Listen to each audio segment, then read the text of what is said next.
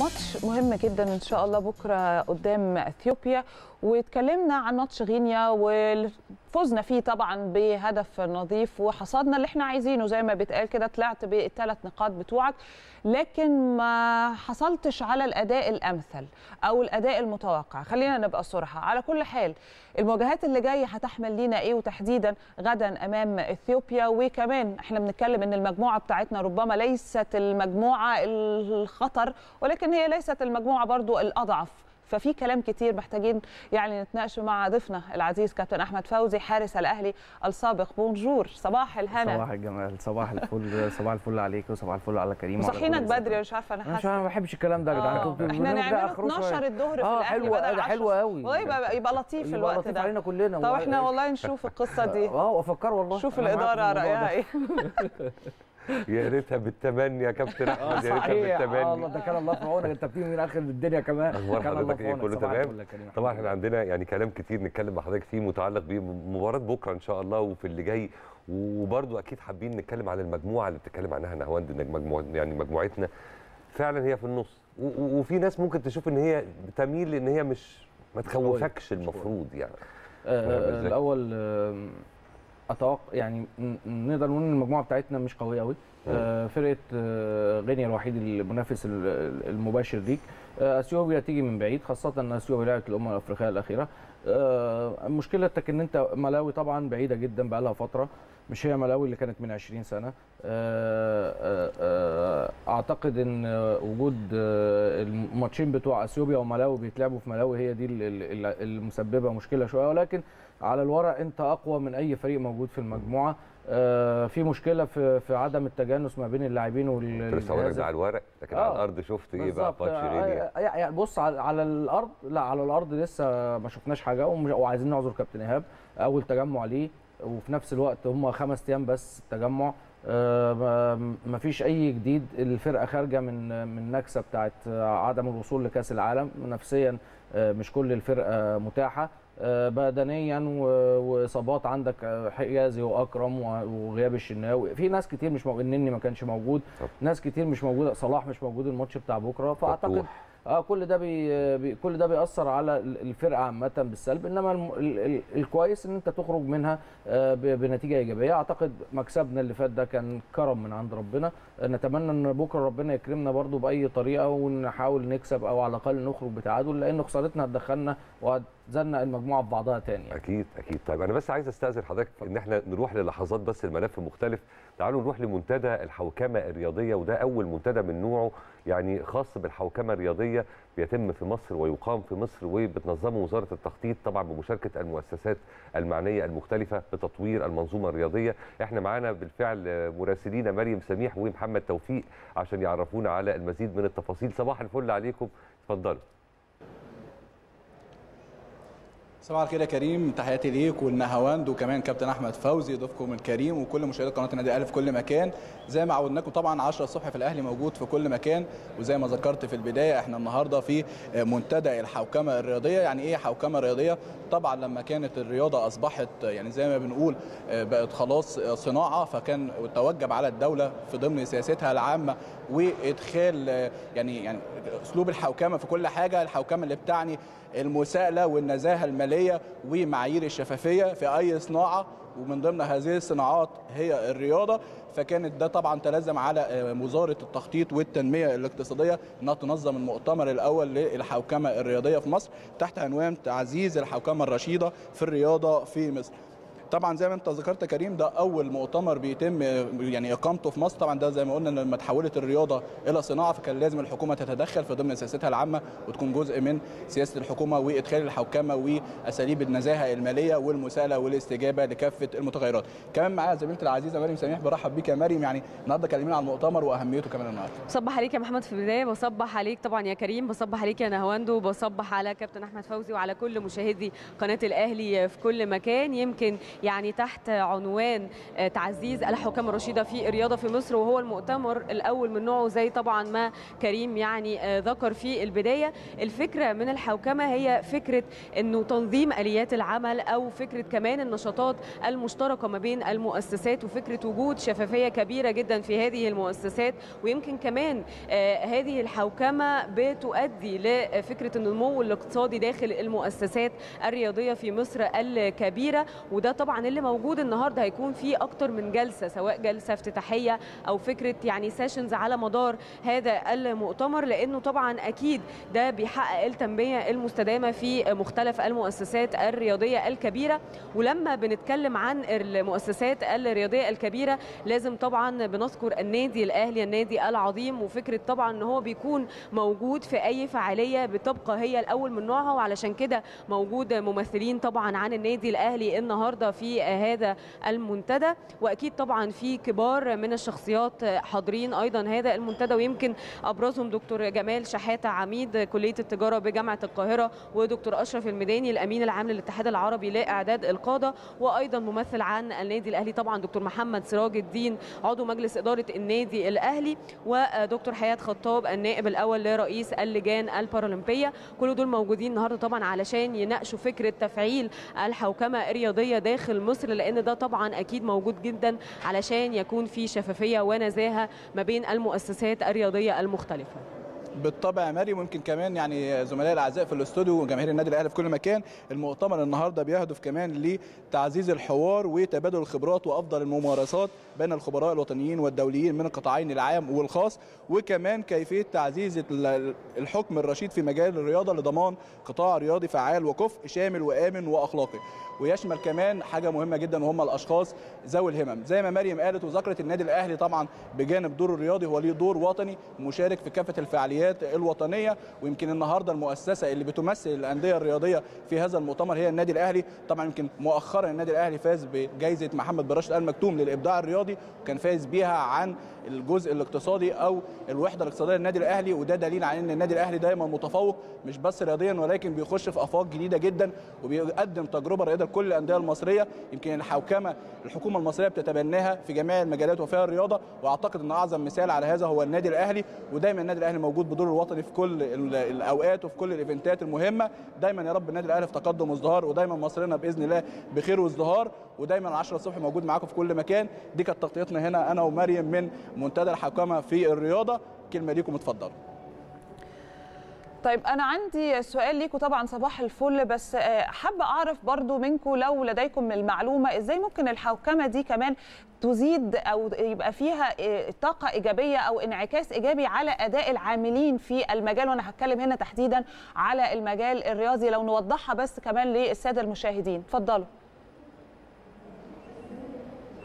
يمكن طبعا يا نهاوند زي ما انت بتسألي فكرة يعني الإيجابيات الموجودة من فكرة يعني الإكسبريشن أو مصطلح الحوكمة الرياضية. لو بنتكلم على آه، فكرة الأمثلة الناجحة يمكن النهارده هيتم طرح أمثلة ناجحة لفكرة إن هم يب- يبتدي تطبيق الحوكمة في مصر خاصة إن إحنا عندنا في ال sessions الموجودة. يمكن أمثلة كتير جدا يعني هيعطيها الأكاديميين وده طبعا اللي بيعطي فكرة الإيجابية اللي انت بتتكلمي عنها يا نهاوند لأنه طبعا أكيد الحوكمة قبل ما تطبق هنا عندنا في مصر تم تطبيقها في عدد من الدول الخارجية في مؤسسات رياضية كبيرة جدا وده هيكون معانا النهارده في عدد من ال presentations علشان يعرفوا إيه الحاجات الإيجابية أو إيه أبرز الإيجابيات اللي حصلت أو عادت على العاملين في هذه المؤسسات الرياضية وكمان يعني كمؤسسات رياضية ناجحة وكبيرة في يعني حول العالم. وده اللي هيتم النهارده طرحه خاصة إنه يعني هم عايزين من هذا المنتدى إنه يكون في تحسين لأداء آه، المنظمات الرياضية في مصر وإبعاد يعني كل الفساد عن المؤسسات الرياضية أيضا. وده برضو اللي هيكون معانا النهارده عندنا عدد من المتخصصين والأكاديميين في هذا المجال علشان يطبقوا كل ما تم تطبيقه في الحوكمة الرياضية حول العالم في المؤسسات الرياضية الكبيرة علشان يتم تطبيقها هنا ويعود بهذه الإيجابيات اللي أنت يمكن تطرقتي ليها نهوان كمان يا مريم بالإضافة أنت سالت بالتحديد نهاوند في نقطة المعاملين في المؤسسات الرياضية هيستفادوا إيه من الحوكمة؟ زي ما قلنا الحوكمة دي هتوصل بالرياضة كونها واحدة من أهم الصناعات حاليا على مستوى العالم إن هيبقى في زي ما قلنا هيبقى في شفافية مالية في نزاهة في استجابة وفي مساءلة ودوت هيؤدي للتنمية المستدامة. معنى وجود التنمية المستدامة في الرياضة ده اللي بنهدفه في الرياضة المصرية ده هيعيد دخل كبير جدا على كل العاملين في المجال الرياضي وأعتقد ده هيبقى أهم الإيجابيات إن هي توفير حياة مستقرة لجميع الرياضيين توفير مداخيل لكلهم هيبقى في دخل مناسب لجميع الرياضيين يعني زي ما بنقول شوف مشاكل كتير جدا في شتى مناحي الرياضة بسبب عدم توافر الدخل أو إن الرياضيين عندنا يكونوا محترفين بشكل كامل خاصة الحكام. لا بالنظام الجديد دوت إحنا بنتكلم على الشمول المالي بنتكلم على الحوكمة. هيبقى في استقلال مالي. كل العاملين في المجال الرياضي هيبقوا محترفين فقط في الرياضة وده إن شاء الله يعود بالخير على مصر كلها ومجال الرياضة خاصة.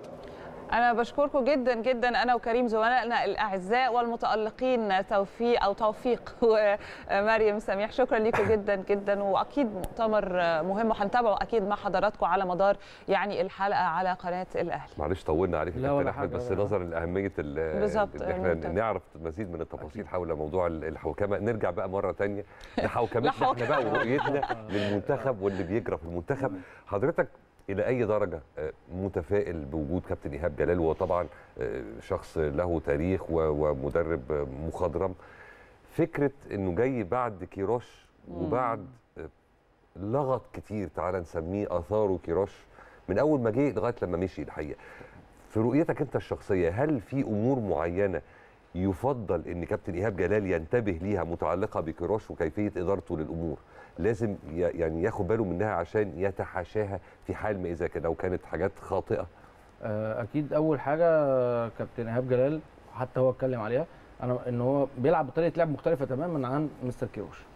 يعني 4 2 3 1 ال- ال- ال- المميزة لكابتن إيهاب جلال في كل حتة مسكها وساعات بيلعب 3 4 3 مستر كيروش كان بيلعب شفتها؟ 4 متحققه في ماتش غينيا؟ لا ما أنا هقول لك أهو. 4 3 3 مست... آه، كابتن خ... كابتن إيهاب ما غيرش الطريقة بتاعت مستر كيروش لأن زي ما بقول لحضرتك هو ما قعدش غير خمس أيام وهو طلع قال كده أنا مش هقدر أغير دلوقتي ولسه قدامي فترة كبيرة ست سبع شهور عشان يبتدي يحط فكره في الملعب. وده اللي كان آه، متواجد فيه. آه، كابت... آه، مع مستر كيروش كان عندنا مشكلة كبيرة جدا في الناحية الهجومية. آه كنا بنعرف ندافع كويس جدا. وبنعرف نستخلص الكورة كويس بس انهاء الهجمات كان عندنا فيه صعوبة كبيرة جدا وما كناش بنوصل. حتى المباريات اللي كنا بنكسبها كنا بنكسبها كلها تقريبا ضربات جزاء وصلنا نهائي كأس الأمم الأفريقية بضربات الجزاء في الثلاث ماتشات ال- ال- ال- ال- ال- ال- اللي هم المفص- المفصليين. آه، آه، فعشان كده ادينا حتى في مباراة السنغال كسبنا واحد هنا ورحنا هناك اتغلبنا واحد ولعبنا برضه بضربات الجزاء وخرجنا. أيوة. فاحنا ما عندناش قدرة على الناحية الهجومية. هو بقى كابتن إيهاب المفروض إنه يزود الناحية الهجومية يرجع لأيام مثلا عايزين نرجع نلعب كره زي أيام كابتن حسن شحاتة. 2000 وس- الجيل الجيل الذهبي ياه. 6 8 10 ياه يا كانت كابتن الكورة. كنا كان الفرق كلها بتعمل لنا ألف حساب. طبعا. آه، آه، سواء بقى روح سواء قلب سواء كورة كل بكل ما اللي تقول عليه آه، هو ده اللي كابتن إيهاب جلال المفروض هيبقى عبء عليه. عايز أقول إن مش مش على طول بنتفق على حد وبيطلع آه، شغله إيجابي والعكس صحيح دايما بنبقى مش متوسمين في حد. انه يوصل لحته معينه وربنا يكرمه والدنيا بتمشي معاه. كابتن حسن شحاته لما مسك المنتخب كان ماسكه آه، فتره انتقاليه لحد ما يجيبوا مدير فني اجنبي. وربنا كرمه وراح ومشيت معاه وراح لعب كاس وجينا كاس الامم الافريقيه كسب 2006 والدنيا مشيت معاه وهكذا. آه، كان عندنا آه، مستر كوبر ومستر كيروش كنا حاطين عليهم امال كبيره جدا جدا ولكن ما شفناش الكلام ده. فاحنا عايزين نمشي مع كابتن إيهاب جلال واحدة واحدة مش هي... الراجل ما معهوش عصا آه، سحريه هيحطها على حاجة الدنيا هتتغير. فلا لازم نصبر عليه شوية. آه، حتى الناس اللي اتفرجت على المباراة آه مش متفائلة بس لسه قدام ده أول مباراة يلعبها. إحنا برضو إحنا مفتريين. إحنا طبعا. مفتريين كلنا طبعا. آه وكلنا بقينا دلوقتي بنحلل كوره فالموضوع صعب شوية وكمان يعني لو هنعمل كده صورة توضيحية للمشهد حاليا والماتش بكرة انت عندك زي ما حضرتك ذكرت غيابات كتيرة جدا يعني الأربعة المحترفين وبتتكلم عن برضو فتوح وغيره وكان لسه الشناوي راجع بس يعني آه، بيقال إن أبو جبل هو ال ال اللي هيلعب برضو. آه اللي هيلعب يعني اللي هو ال- الأكثر يعني زي ما بيتقال كده أو الأقرب للعب بكرة تمام. إن شاء الله فالوضع برضو مش قوي يعني كابتن إيهاب مش محظوظ للدرجة بصراحة برضو عليه ضغط كبير جدا داخل قبل ما أي حاجة. بالظبط. بلس الإصابات دي فيعني حقيقة دي حقيقة يعني آه، الدنيا تتكالب عليه زي ما بيقولوا أو الظروف أيوة تتكالب. عليه فعلا. يعني فعلا أول حاجة أنت هو مش معاه القوة الضربة آه، صلاح النني ادي فتوح مش موجود الشناوي مش موجود آه، أكرم طبعا مش موجود آه، تريزيجيه. تريزيجيه مش موجود فهم معهوش حد خالص يعني فعلا. و- واه طب ما ظروفه كنا صعبة. إحنا والله دي حقيقة آه، نعمل عادي مفيش مشكلة تعال معايا. طالما عمليه كده. عادي الدنيا فالدنيا بالنسبة له أعتقد صعبة. آه، المباراة السابقة عاملة عبء عليه سلبي في, مش في النتيجة ولكن في الأداء فأعتقد لأ. آه، المباراة هتبقى بكرة آه، قوية مع خصم بي- بيحب الجري. أثيوبيا ميزتهم الوحيدة في الجري بس. فإحنا لو ادينا لهم مساحة مساحة، آه آه، مساحات. كبيرة في الملعب هنتعب معاهم. عشان كده لأ أعتقد إن الدنيا آه، كابتن إيهاب هياخد باله وإن شاء الله نرجع منتصرين طبعا طبعا الجزء اللي حضرتك بتتكلم فيه عن إن هو بقاله أيام معدودة وإنه معهوش عصاية سحرية طبعا أنا متفق مع حضرتك يعني مليون في المية. بس في المقابل إحنا في الأول وفي الآخر بنتكلم على مدرب وطني ومدرب عارف كويس جدا وعينه شافت كل لعيب على حدة عشرات ما كانش. مئات المرات آه. وعارف كويس قوي نقاط القوة ونقاط الضعف اللي عند كل واحد منهم ففكرة إنه محتاج فترة وقت طويلة نسبيا ما بتبقاش مقبولة قوي في حالة حد زي كابتن إيهاب جلال نظرا إن هو مدرب وطني زي ما كنت بقول لحضرتك كده فناس كتير ما استنوش طبقا لنصيحتك إن إحنا تمام. نستنى لأ في ناس كتير ما استنوش مع نهاية أحداث اللقاء اللي جمع ما بين مصر وغينيا ناس كتير قوي أنا كنت واحد منهم قلنا كلام ماشي كله بسكة إن إحنا ما شفناش المنتخب قوي. تمام. فده آه، افترى مننا آه. تسرع مننا أكتر آه. ولا إلى حد ما إحنا عندنا كابتن فوزي النهارده جاي عارف. بس دي, آه حقيقة أنا عايز أقول لك دي حقيقة. أي مدير فني في الدنيا حتى لو ماسك ناس عارفها آه، في طريقة لعب جديدة مش. متعود عليها. لازم يحفظهم فكره لازم يحفظهم طرق لعب يا راجل ده ما عندوش وقت يعمل فاولات أو كرات ثابتة مم. يعني على الأقل تقدير عايز مثلا أسبوعين عشان يحفظ يحفظ الفرقة الكرات الثابتة هيعملها إزاي الكورنرز الفاولات الحاجات الدفاعية اللي عليه الحاجات الثوابت بس ما خدش وقت عشان يعمل الثوابت إحنا إحنا منت- منتظرين منه إيه؟ ثانيا آه آه، كل لعيب على حدة انت بتتفرج عليه في التلفزيون وعارف طريقة لعبه وعارف آه آه وعارف شغله ماشي إزاي. بس لما يخش جوه المنظومة بتاعتك انت هتحركه إزاي؟ اصل هو مش مش انت مش مش مش ماريونيت انت بتلعب بيهم. لا انت بتحفظه شغل. الشغل اللي انت بتحفظه له ده مستني منه رد فعل في الملعب مستني منه اللي أنا قلته له يحفظه يبقى عارف بيتحرك فين. لما الكرة تبقى مثلا سي مع ال back right وأنا بلعب wing left مع ال back right اهو الكرة معايا هنا. أنا هتحرك إزاي؟ هدخل لجوه ولا هنزل لتحت عشان أستلم ولا أنزل نص الملعب عشان لو الكرة اتقطعت منه طب أنا هنزل أدافع على الخط بتاعي ولا أخش نص. كل واحد في الدنيا بيبقى ليه منظومة وفكر على السبورة وداخل الملعب غير أي حد غير أي مدير فني تاني. okay. طريقة لعبك مش زي طريقة لعبي مش زي طريقة لعب نهاوند. إحنا ممكن كلنا نمسك الكوباية دي بس مش هنمسكها بطريقة واحدة. صح. فعشان كده هي دي. إمتى آه، آه، تبقى عارف المنظومة دي هتتحرك إزاي وطريقها إزاي وكورتها عاملة إزاي. لا دي عايزة وقت. مفيش حد في الدنيا بي... يا كابتن حسام البدري قعد آه، سنة وشوية وفي الناس في الآخر قالت لك مفيش طريقة لعب. مع إن هو على فكرة. ما خسرش يعني لا يعني ما خسرش خالص خالص. هو كله تعادل وكسب. جه مستر كوبر قعد ست شهور آه sorry مستر كيروش قعد ست شهور الناس برضو قطعت فيه. فين كوبر بس؟ آه كوبر. والله العظيم الوحيد اللي كان لينا أسلوب معروف. آه. حتى لو هو باص لصلاح ولكنه أسلوب معروف. اقطع وباص لصلاح ماشي أسلوب معروف. وده كان حقيقة. إنما إحنا دلوقتي مالناش أي أسلوب بصراحة بقى لنا سنتين. والله العظيم يا كابتن فوزي. طيب يعني خليني أروح مع حضرتك للشكل الأمثل حضرتك ذكرته سريعا. وفكرة هنا إن إحنا خلاص لازم يبقى في عندنا خطة هجومية كفاية بقى خطة دفاعية عشان فعلا لا تليق بمنتخب مصر آه. تماما. وفي المجموعة تحديدا اللي أنت فيها يعني ده أنت المفروض تستغل هذه المجموعة إن أنت تهاجم تخلص في الدقائق الأولى تاخد النقاط بتاعتك وتخ... يعني ده يمكن ما شفناهوش برضو في غينيا قوي. ما هو ما أنا بقول لك هو لسه بدري لسه بدري. وبعدين أنا خلي بالك اللعيبة كلها عندها إخفاق. سنة 22 بالنسبة لمصر إخفاق في جميع النواحي. إحنا كنادي أهلي خارجين من نهائي آه، صعب مأثر على اللعيبه آه، بالسلب طبعا. تمام؟ آه، آه، منتخب مصر خرج من بطولة أفريقيا في النهائي خسر وفي وصول كأس عالم ما قدرش.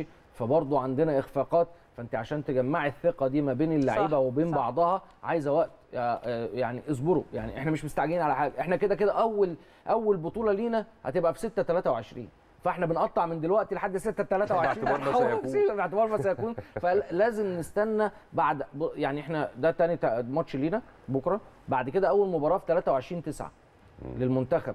فيعني ده وقت كافي إيه،. ادوا بقى وقت كافي وهيلعب طبعاً. مباريات ودية وهيحفظ اللعيبة بتاعته وعايز يعمل إيه وهو طلب إن هو يعمل تجمعات صغيرة ما بين ماتشات الدوري وده حقه فيعني لا ادوا له مساحة صح، وبعدين ابقوا. عاقبوه أو أو هو أو. أو, أو ارفعوه فوق زي ما عملتوا مع كيروش مع كيروش رغم كلها. الانتقادات اللي كانت في الأول بس كل شوية كان يقول لك اصبر اصبر آه، ما خدش. أول بطولة قال لك اللي بعدها بعدها. اصبر ما خدناهاش اللي بعدها اصبر ما خدناهاش لا خلاص بقى زحلقنا كلنا إحنا العمر جري بينا وإحنا آه وإحنا مستنيين البطولة مستنيين بتاعتنا نشم آه ريحه والله. البطولة. الحمد لله. يعني الحمد طيب لله. اولا إحنا سعدنا جدا جدا بوجود حضرتك معانا وعايزين نستأذنك إن أنت تحضرنا بقى في الإجابة على سؤال ال social media اللي خاص بحلقتنا النهارده. إحنا في أول الحلقة سألنا حضراتكم سؤال وكان السؤال كم مرة واجه منتخب مصر النظير الاثيوبي في نهائي أمم إفريقيا وما نتيجة هذه المباريات؟ طب إحنا هنروح فاصل ونرجع؟ صح كده؟ فعلا. هنروح فاصل وهنرجع okay. وكابتن فوزي هيكون معانا ونشوف الإجابات الصحيحة وهنعلم على الأشخاص اللي جاوبت صح زي ما كنت بقول لحضراتكم وعدناكم قبل كده في نهاية كل شهر يعني أربع حلقات social media هنحاول نعمل randomly كده نختار والشخص اللي هنختاره ده هيكون ليه جايزة سواء بقى تي شيرت للأهلي أو غيره. فاصل ونرجع نكمل. أهلا بيكم مرة ثانية سؤال ال social media في حلقتنا النهارده كان كم مرة واجه منتخب مصر نظيره الإثيوبي في نهائي أمم إفريقيا وما نتيجة هذه المباريات؟ طب كابتن فوزي ما تقول لنا كده.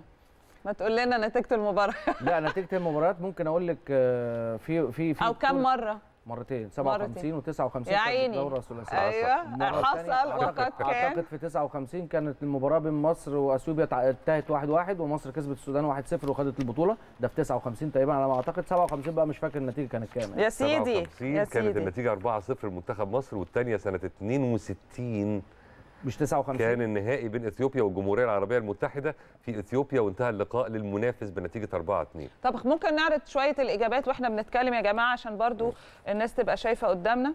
يعني مثلا كريم السيد بيقول منتخب مصر واجه إثيوبيا 17 مرة وفاز منتخب إحنا بنتكلم كم مرة واجه منتخب. مصر نظير في نهائي أمم إفريقيا يعني هم مرتين هو واضح إن كذا حد فهم آه، كده آه برضه. فهم- ممكن تكون اتفهمت غلط بقى محمد آه. حسني برضه آه. لك التقى الفريقان 17 مرة فاز منتخب مصر 13 مرة وتعادلوا في مرتين وإثيوبيا فازت بس مرتين. محمد كامل أبو طالب آه، قايل الإجابة صح صح. مرة سنة 57 ومرة سنة 62 هنا 4 1 وهنا 4 2 إجابة مظبوطة جدا. مصطفى راشد برضو من الناس اللي قال 17 مرة. هو محمد عفروتو. لا عفروتو بقى ركز.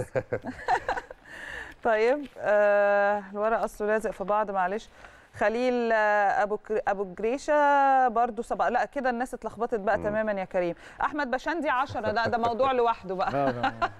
ده رقم تاني خالص. سيد مسعد بيقول برضو اتقابلوا 17 مرة وفادي محمد بيصبح وبيقول مجموع المباريات 17 مباراة.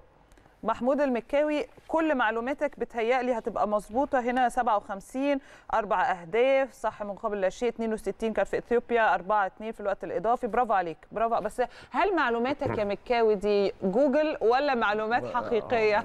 هو ما بين جوجل وما بين الأستاذ محمد صادق لأن هو برضه قال لي جزء آه، من الإجابات. آه. عبده أحمد بيقول مرتين سنة 57 ومصر مصر كسبت 4-0 والمرة الثانية سنة 62 وإثيوبيا هي اللي فازت بنتيجة 4-2 وإجابتك صحيحة. حمادة عرابي برضو قايل الإجابة مظبوطة هو قايل عدد ال أو يعني ال- زي ما اتقال الأجوال كلامك مظبوط جدا آه إيه بقى؟ سعيد مصطفى بشار قال إيه بقى؟ مرة إيه؟ بشار؟ بشار قال مرة واحدة؟ لا. لا مش عارف مش لاقي ورقة بشار مش عارف. كله دخل عندي بقى. أنا واقف عند سعيد مصطفى بيقول برضو 17 مرة وحمادة عربي بيقول مرتين. دي إجابة صحيحة برضو. النهائي الأول كان النتيجة 4-0 وفازت إثيوبيا في النهائي الثاني بنتيجة 4-2 على كل حال الإجابة السليمة زي ما حضراتكم يعني سمعتوا 57 كانت 4 1 62 كانت 4 2 فالمرات دي الإجابات على فكرة أزيد من ال social آه، ميديا الأسبوع اللي فات الأسبوع اللي فات. كان في شخص واحد تقريبا هو اللي قايل صح. ف طيب ال- الأسماء دي اللي قالت صح هنجمعها. أنا بقعد حضراتكم بكرر مرة تانية ما تقلقوش يعني. كابتن فوزي آه، ما نيجي- تيجي كده في الدقائق المتبقية نتكلم شوية عن التشكيل. تشكيل منتخب مصر. مش أكيد. هيخرج- مش في اللقاء. بكرة إن شاء الله. آه مش هيخرج في ظل يعني. الغيابات اللي إحنا آه، بنتكلم فيها يعني هو مجبر. على ال- على الأوضاع اللي هو اللي هو فيها دي مجبر تقريبا. يعني أعتقد برضو أبو جبل هو اللي هيبتدي. وعمر جابر ناحية اليمين وأيمن أشرف ناحية الشمال. آه قدامه آه ياسر إبراهيم والونش. آه في نص الملعب آه، برضو السولية وحمدي فتحي ومعاهم آه، م- آه، آه، ومعاهم إمام عاشور. على الطرف اليمين هيلعب أحمد سيد زيزو مكان محمد صلاح على الطرف الشمال هيلعب آه، إبراهيم عادل وقدام راس حربة عمر مرموش ده اللي أنا أعتقد اللي هيحصل يعني ومش هيبقى في تغيير كبير عن ال- التشكيل اللي أنا قلته. عمر مرموش كان في ناس برضو وقفت عنده كتير الماتش اللي فات يعني التحركات موجودة لكن الفعالية كانت إلى آه حد ما مش واضحة يعني. الكرة الوحيدة اللي جت في الماتش لمصطفى محمد ده حطها مم. ما هي دي بقى ميزة الراس حربة مم، آه طبعاً. أنت تبقى قريب من الجون وعارف إمكانياتك إيه وكل حاجة يمكن الطريقة بتاعت آه، آه، راس الحربة الوهمي عمر مرموش بيعرف يعملها كويس قوي بس عايز واحد يكون قدامه. يعني هو لو يلعب تحت تسعة ونص تحت واحد بيلعب تسعة و striker. صريح آه هيعرف يعملها كويس قوي إنما يبقى هو ال striker الصريح بتبقى صعبة شوية خاصة إن إحنا لما بنحب نلعب كور عالية ما بيعرفش يتعامل قوي مع. الكور العالية المرسلة من مش زي الخلف مصطفى للأمام محمد. مش زي مصطفى محمد فأعتقد لا ممكن ممكن يكون التغيير إن مرموش ما يبتديش ومصطفى محمد يبتدي ولكن آه، آه، بكرة بقى كابتن إيهاب جلال بيلعب زي ما قلنا بإيه بأعداد. عد غنماتك يا وحف ربنا يكون معاه إن شاء الله كابتن فوزي نورتنا. ويعني زي ما بيتقال كده ختمناها حلو مع حضرتك ربنا يعزك. وإن شاء الله بكرة يعني نسعد كلنا الله، اللي إحنا. نستحق بإذن الله يعني كمان. إثيوبيا ما هياش ال- لا لا مش منافس آه قوي يعني. نتمنى إن شاء الله شكرا. ليك صباح زي الفل اشوفكم على خير مشاهدينا في كل مكان إن شاء الله إن عشنا يوم الأحد الجاي حلقه جديدة من 10 الصبح في الاهلي. هنعيش يا كريم ليه كده حلوين حلوين مع السلامة